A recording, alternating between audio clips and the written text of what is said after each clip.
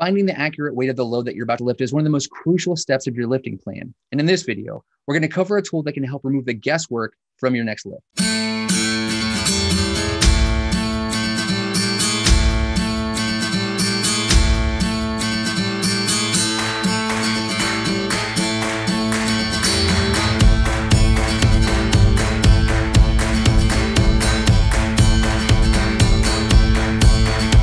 Welcome back to the Lifting and Rigging channel. My name is Devin, and today we're going to give you some information on a piece of rigging hardware that, when added to your lifting plan, can take the guesswork out of how much weight you're about to lift, so you don't have to do all of that mathematics yourself.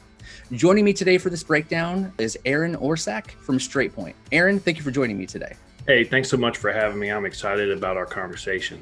So me and I'm sure a lot of people already know who you are. Personally, I mean, I came into this industry about four, almost four years ago now, and a lot of my time in this company has spent watching your videos and having you do tutorials live for our company. So I was really, really excited to get to work with you specifically on this project because that's got to be a terrible feeling if you're not 100% sure what's going to happen when you start lifting that load in the air.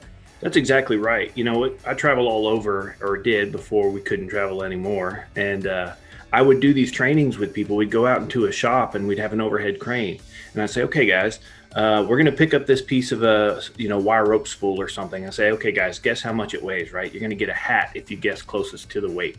So guys are guessing, and they you know they want to get that Crosby hat or whatever, and um, and so we get down to where you know everybody's kind of got their their weight in, and I go, "Okay, time out. If I wasn't here, you didn't have this load cell, you were going to pick this up. What would you do? You would guess." And that's really what we're after taking the guesswork out of lifting something up. Know what you're weighing.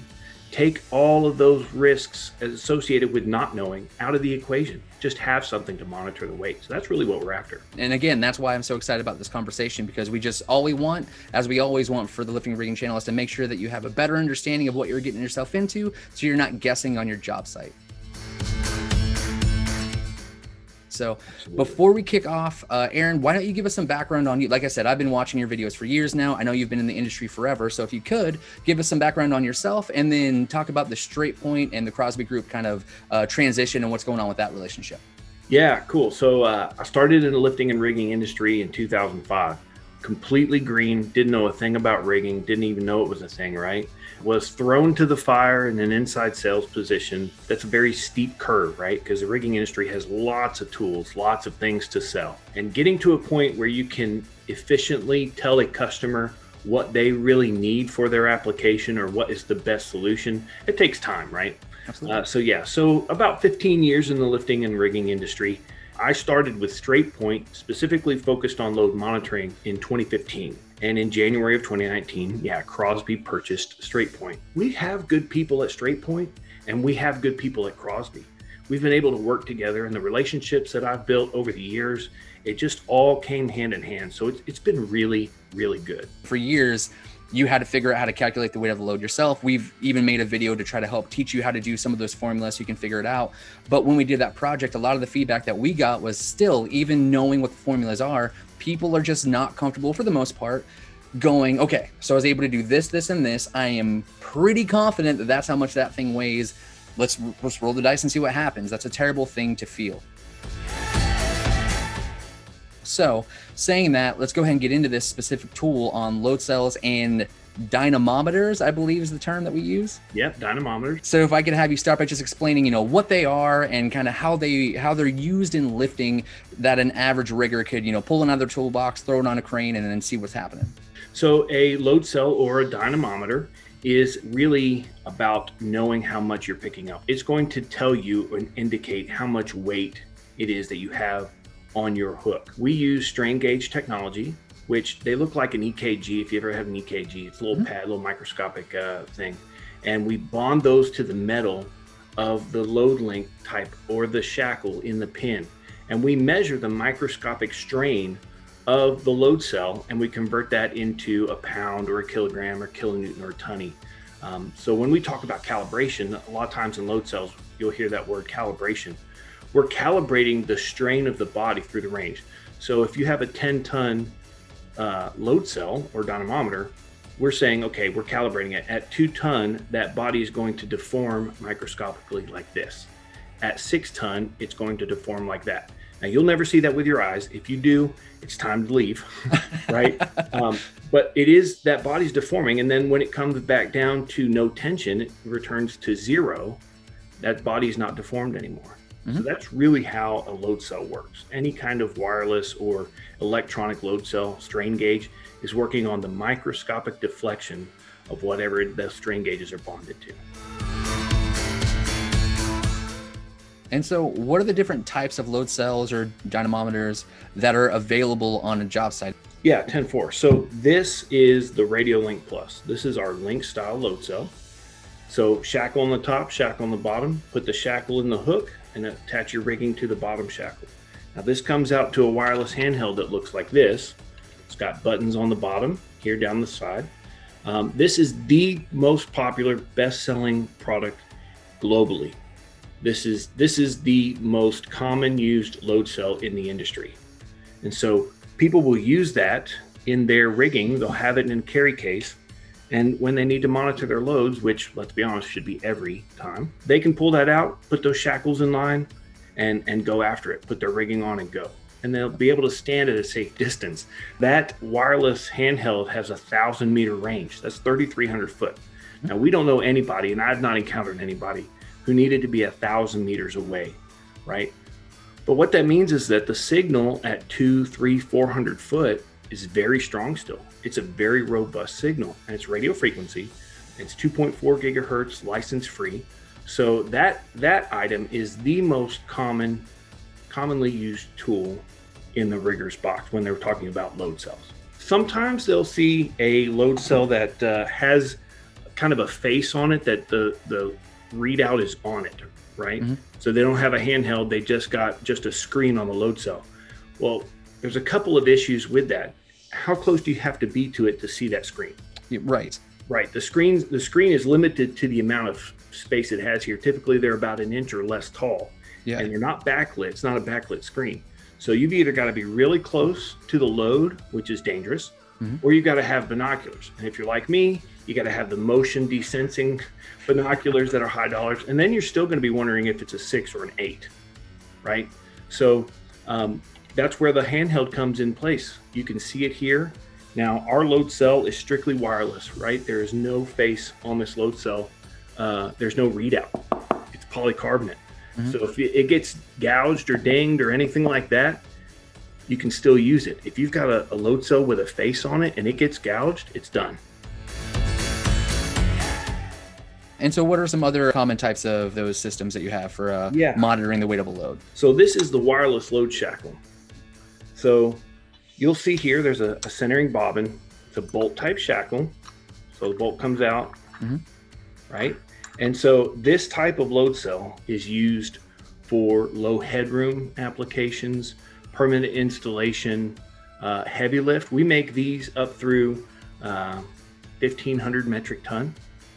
So um, if you could consider a, let's say a 400 ton load cell, if you can imagine one of these 400 ton mm-hmm. with a 400 ton shackle on top and a 400 ton shackle on the bottom, it's so much headroom. It's so heavy. All of those components together, where you could just have a wireless load shackle, 400 ton, and just put your hook in it, put your rigging on it, and go. Right. How do you monitor that one? So the other one, you said it had this cool handheld device. If yep. you're using that shackle, how how do you look at the readout to see what you're lifting, how much it weighs, and you know whether or not you're in the right spot?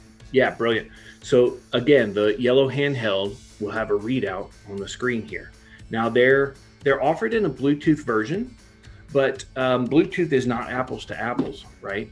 Um, there's about 100 meters or 300 foot communication length for Bluetooth, which um, that's really good for Bluetooth.